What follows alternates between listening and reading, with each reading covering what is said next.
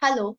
So in this question, we are asked to find that the graphical method which is